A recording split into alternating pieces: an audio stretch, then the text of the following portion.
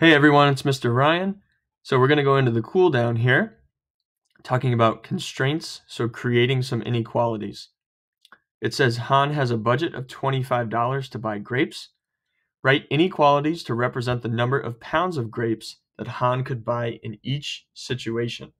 So, first of all, we know if it's something that we're looking for that we don't know, it could be different types of amounts of grapes. We want to make a variable.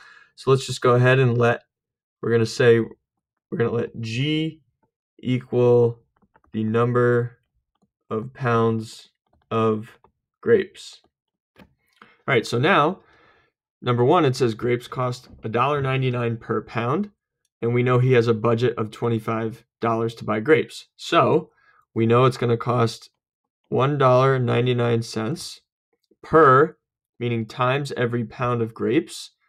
So times some pound of grapes but he has a budget of 25, so it means he can't go over. He could spend all 25, but it's got to be less than, less than or equal to.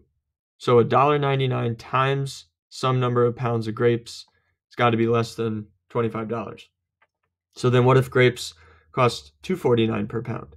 Well, we take 249 times every pound of grapes, G that we're going to buy, and that also has to be less than or equal to his budget of $25. Lastly, well, what if we maybe don't know how much exactly the grapes cost per pound and we say, well, it's a very it's another variable. It costs C dollars.